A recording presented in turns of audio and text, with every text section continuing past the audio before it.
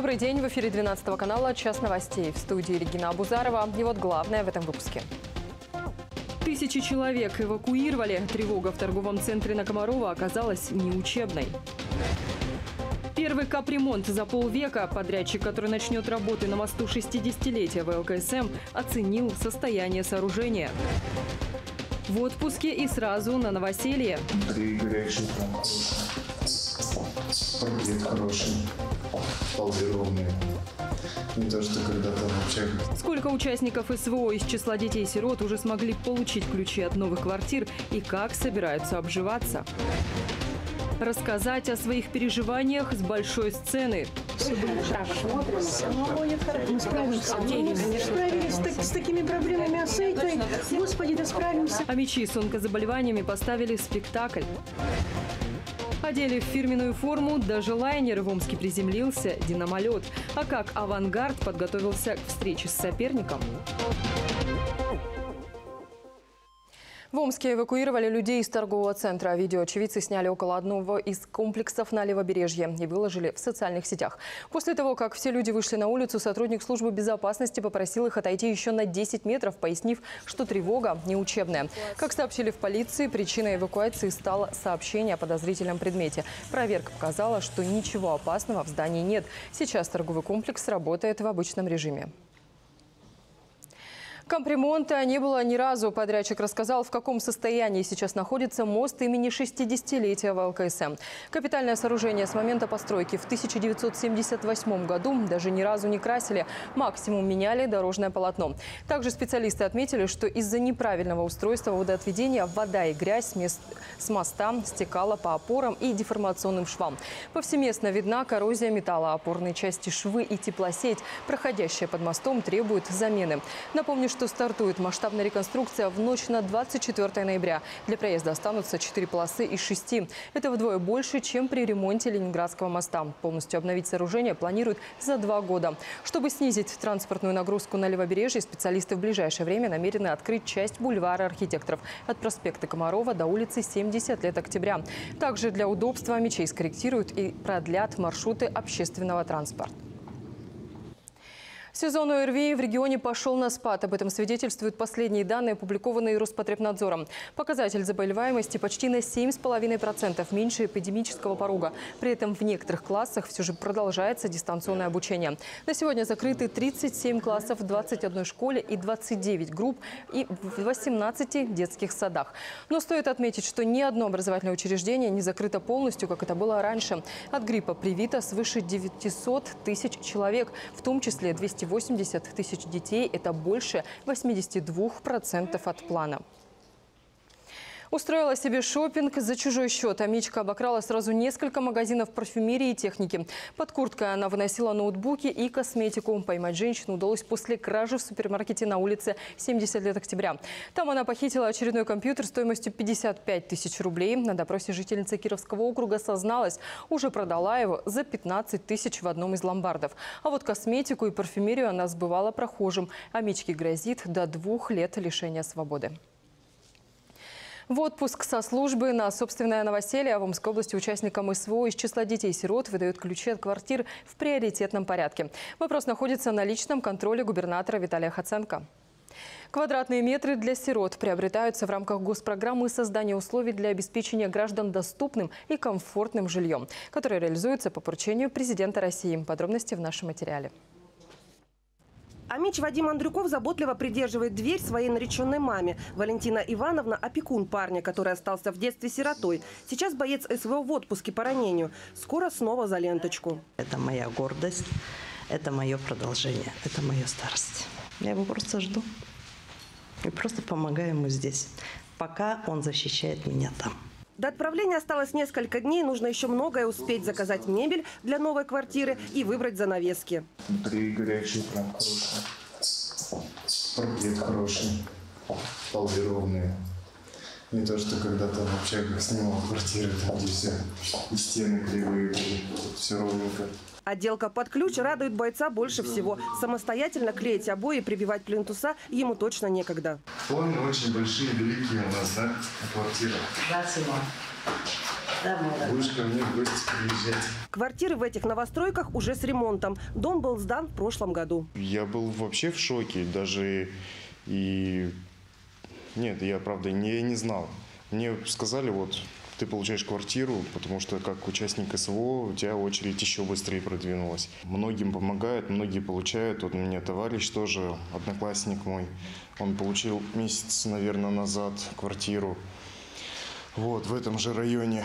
Вопрос обеспечения жильем участников СВО из числа детей-сирот находится на личном контроле губернатора Виталия Хаценко. У таких ребят приоритетное право. Данная мера поддержки, именно приоритетное право, появилась у данной категории лиц в 2023 году. Данная норма была введена федеральным законодательством. За 2023-2024 год данной категории граждан, именно ребятам, участникам спецоперации, было предоставлено 41 жилое помещение. Ну а всего для детей-сирот с начала года было приобретено почти 260 квартир. Большая часть из них уже обживается на новом месте. Остальные отпразднуют новоселье до конца года. Также ведется заключение госконтрактов на приобретение 10 новых квартир в Таре по результатам электронных аукционов. Также в регионе действует и другая мера поддержки в виде получения жилищного сертификата, с помощью которого можно купить жилье на свой вкус и сразу в собственность. Наталья Змага, Виктор Осинцев, 12 канал. Омская область получит 7 миллиардов рублей на модернизацию образования в 2024-2027 годах. Планируется отремонтировать 71 школу, 16 детских садов и 9 зданий колледжей. Как сообщил губернатор Виталий Хаценко, наш регион вошел по стране в тройку лидеров по количеству вновь отобранных социальных объектов. Глава региона намерен контролировать качество всех работ. Напомню, Министерство просвещения полностью одобрило заявку Омской области. Благодаря этому в списке оказалось больше учреждений, чем планировалось. В частности, в числе колледжей, которые будут отремонтированы в ближайшие три года, авиационный, технологический, медицинский, инновационных технологий, а также колледж экономики и коммерции. Их объединяет не только любовь к искусству. На сцене Пятого театра премьера спектакля «Секунда и до». Главные роли играют непрофессиональные артисты амички с непростой судьбой и тяжелым диагнозом. В основу легли известные классические произведения в связке с личными историями участников проекта. А главное, в каждой сцене отражение внутреннего мира. Подробнее в нашем сюжете. Мы справимся. Мы справились с такими проблемами, а с этой, Господи, да справимся. Эти женщины никогда не выступали на сцене, не работали с известными режиссерами и сценаристами и не знают, как правильно играть роль. Но сегодня каждая из них в образе – прическа, макияж и наряд. Наталья Васина сейчас помогает перевоплотиться участницам проекта, но и сама через считанные минуты выйдет на сцену, представит отрывок из книги «Старик и море». История близка героине. Женщина пережила рак, несколько раз были рецидивы. Каждый раз находит новую отдушину, в этот раз театр. Но я все равно ее одолею. При всей ее величине и при всем ее великолепии я докажу, на что способен человек. Новое амплуа примерили 9 амичек, личная история у каждой. Кто-то сам боролся с опасным заболеванием, другие поддерживали родных во время лечения.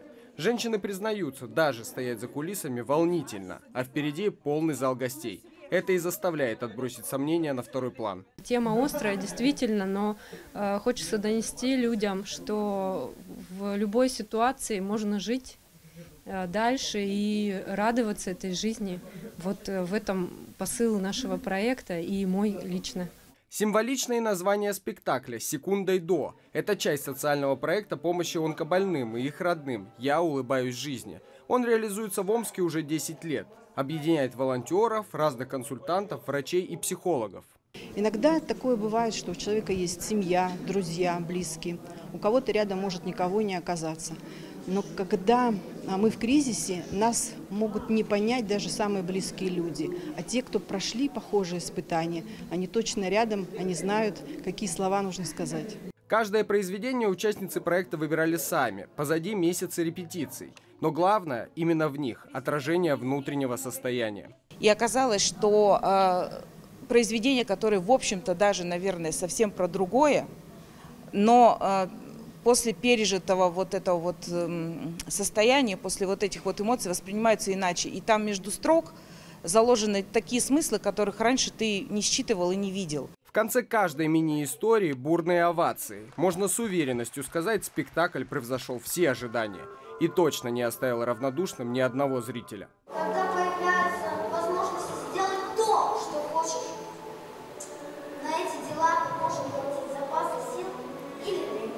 Роман Казанцев, Сергей Пайхалов, 12 канал.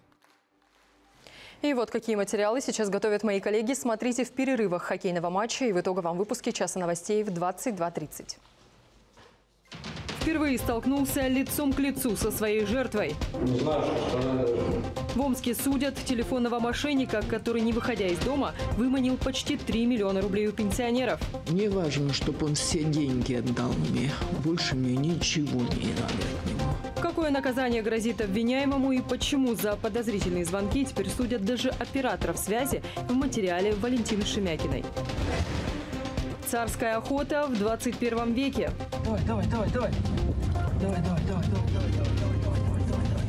Или когда вместо ружья только собака. Вот такой поводок, который дает возможность охотнику быстро спустить собак, если те заметили дичь.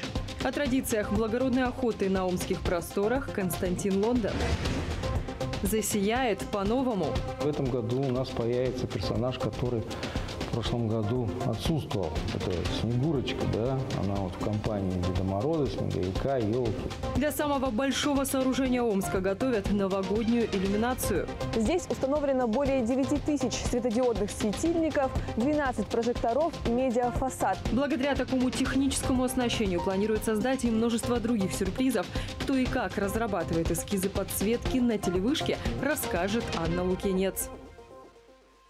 Самый большой каток в Омске откроется уже в эти выходные. Лед полностью готов. В центре площадки установлена новогодняя ель. Территорию украсили километрами гирлянд. Позже установят и светящиеся арт-объекты. Площадь почти 13 тысяч квадратных метров. Это примерно как два футбольных поля. Подготовка к открытию началась еще на прошлой неделе. Первый слой льда специалисты начали заливать вручную. После привлекли спецтехнику. Для мечей на протяжении всего сезона запланирована обширная программа, мастер-классы, шоу, аниматоры, а также розыгрыш призов. Ну а расписание, когда стадион будет открыт для традиционных зимних катаний, руководство «Красной звезды» опубликует в ближайшее время. Омские ветераны спецоперации завоевали три золотых медали на Всероссийском кубке защитников Отечества. На федеральной территории «Сириус» в Краснодарском крае встретились 200 участников из 62 регионов страны. Состязания проходили в течение трех дней. Среди дисциплин – волейбол сидя, пулевая стрельба, стрельба из лука, настольный теннис, пауэрлифтинг и армрестлинг. Первый кубок защитников Отечества стал значимой частью всероссийского календаря соревнований в паралимпийском движении. По итогам турнира Амич Вадим Чумлюк Поляков занял первое место в пулевой стрельбе. Сразу два золота в армрестлинге завоевал Владислав Шинкарь. Наша задача, в том числе, кроме того, чтобы их привлечь, чтобы их заинтересовать, наша задача обеспечить их современными техническими средствами реабилитации, современными протезами. У нас есть ребята, которые бегают марафоны, которые встают на сноуборды. И вот э, эти направления, то есть доплата до э, сертификата, когда они получают высокофункциональный протез для обычной жизни, и плюсом мы еще выдаем спортивный протез именно для э, занятий спорта, который подбирается персонально, индивидуально. Это работа Фонда «Защитники Отечества». В Омске приземлился динамолет. Лайнер авиакомпании «Белавиа» привез в Омск хоккеистов минской команды. Самолет брендирован в цветах хоккейного клуба. На фюзеляж нанесены стилизованный белорусский орнамент и изображение зубра. На киле белый василек – знак авиакомпании. Как сообщается, покраска динамолета заняла 13 дней. Для новой ливреи понадобилось 80 литров грунта, 153 литра краски и около 100 литров лака. Цель прилета, безусловно, спортивная. Сегодня ястребы сразятся с минским «Динамо». Тем временем состав нашей команды пополнился новым центральным нападающим. «Авангард» заключил контракт до конца сезона с 26-летним Майклом Маклаудом. Форвард начинал этот сезон в составе Бориса из Астаны. В свое время он был выбран на драфте НХЛ под высоким 12 номером. В составе молодежной сборной Канады Баклауд стал в 2018 году чемпионом мира. В «Авангарде» новичок взял себе девятый номер. Сегодня Маклауд не сыграет за Омск, зато появится на льду другой новобранец – 31-летний форвард Наиль Якупов перешедший в стан ястребов из Кунилуня. Прямая трансляция матча на нашем канале в 19.15. Не пропустите. Брать пример с чемпионов. Почти полторы сотни юных стрелков слетелись в наш город со всей страны, чтобы принять участие в турнире имени двукратного триумфатора Олимпийских игр Виталины Бацарашкиной. Получить бесценный опыт состязаний всероссийского уровня и заветную медаль из рук легендарной спортсменки – мечта каждого участника. Какие качества необходимы для покорения мирового Олимпа в сюжете нашего спортивного обозревателя Алексея Дариева. Крепкая рука, зоркий глаз и железный нерв. На словах рецепт успеха в состязании стрелков звучит достаточно просто. Но вот воплотить его в жизнь невероятно трудно. Ну, а уж для того, чтобы стать двукратным олимпийским чемпионом, необходимо сочетать в себе как талант, так и огромную работоспособность. То есть именно те качества, которые позволили подняться на вершину мирового спортивного Олимпа нашей землячке Виталине Бацарашкиной. Я э, пропадала на сборах, э, на тренировках и вообще не видела, можно сказать, семью. Постоянно где-то была в разъездах. А детям, которые вот сейчас подрастают, хочу пожелать, чтобы им было в радость то, чем они занимаются. Почти полторы сотни юных стрелков, приехавшие в Омск на первые всероссийские соревнования по полевой стрельбе на призы Бацарашкиной, мечтают повторить путь великой спортсменки. Две недели назад я выполнил кандидата мастера спорта, то есть э, заряжены эти соревнования на полную, побеждать. Впервые он проводится в таких прекрасных условиях в городе Омске, я сам впервые здесь, в этом городе. Ну, в принципе, нас встретили очень хорошо, то есть организация на высшем уровне. Э, я готов выступать в своем личном упражнении, на собственно, которое я приехал. Э, пневматический пистолет 60 выстрелов. Наш регион еще никогда не принимал соревнования по пулевой стрельбе столь высокого уровня. Ребята из Новосибирска и Кемерово, Челябинска и Екатеринбурга, Иркутска, Омска, Томска, других республик и областей мечтают показать себя перед глазами триумфатора Олимпийских игр в Токио и ее тренера. Конечно, очень здорово, что у нас есть такая спортсменка, что ну, считаем практически дочерью. Стрелковая дочь, так мы ее и называем. Вот. Очень приятно. Я надеюсь, что здесь будет дан ну, такой стимул, мотивация спортсменам для достижения высоких результатов. Получить приз непосредственно из рук одной из величайших спортсменок в истории пулевой стрельбы. Можно ли мечтать о большем? Поэтому настрой ребят решительный. Хотят показать максимум того, на что они способны. Эти соревнования очень большие по своим масштабам, потому что здесь собрались а, участники из всех регионов Российской Федерации. На этих соревнованиях я хочу показать, чему я научился и добиться каких-либо успехов. Имена победителей турнира станут известны в четверг, 21 ноября. А вот проигравших, и это ясно уже сейчас, не будет. Все без исключения ребята получат бесценный соревновательный опыт и зарядятся чемпионской энергетикой знаменитой амички Виталины Бацарашкина. Алексей Дариф, 12 канал. И последнее. Дед Мороз из Большеречи уже отправился в первую прогулку на санях по снежному лесу. Кадрами поделились сотрудники музея «Старина Сибирская». Так они готовятся к открытию владений зимнего волшебника. Напомню, для мечей организуют так называемое «Морозово царство». Это большое интерактивное пространство. Там будут играть спектакли и проводить мастер-классы. Сотрудники придумали несколько новых игр, например, «Валенкобол» и «Волшебные колодца». Мы уже предвкушаем э, все эти мгновения, все эти дни. На протяжении полутора месяцев мы будем встречать наших гостей. Э, уже с 15 декабря сибирские владения Деда Мороза откроют свои двери для больших и малых ребят, для взрослых и детей. Далее прогноз погоды. Ну а все наши новости доступны в социальных сетях ВКонтакте, Телеграме, Одноклассниках и на Рутубе. Найти их можно и на сайте 12канал.ру. Также вы можете предложить свои новости, прислать их нам по электронной почте или позвонить в редакцию по телефону 695 641. Оставайтесь с нами. И о погоде. Завтра, 20 ноября, в Омске переменная облачность. Ночью минус 7, минус 5. Днем до минус 2. В районах облачно с прояснениями. Ночью минус 11, минус 8. Дневная температура до 4 градусов ниже нуля. Ветер южный 2 метра в секунду. Атмосферное давление составит 754 миллиметра ртутного столба. На этом у меня все. До встречи на 12 канале.